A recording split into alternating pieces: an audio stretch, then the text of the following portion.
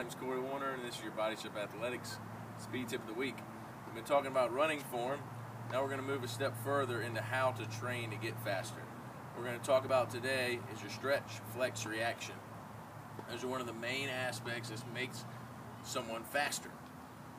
And that is basically how fast your feet can react and your muscle can contract to get back off the ground. So, for example, when I'm sprinting, how fast my foot can touch the ground, contract, and go back off the ground. So to train for that, we do just a typical box jump. You want to make sure that you stay on the balls of your feet the whole time.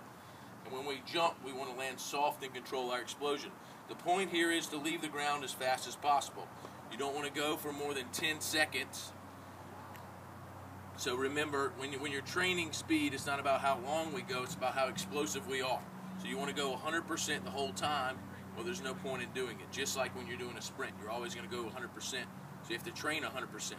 So for example, we're just going to hop up on the box softly, leave the ground as fast as possible, making sure you're staying on the balls of your feet and trying to train yourself to leave the ground faster.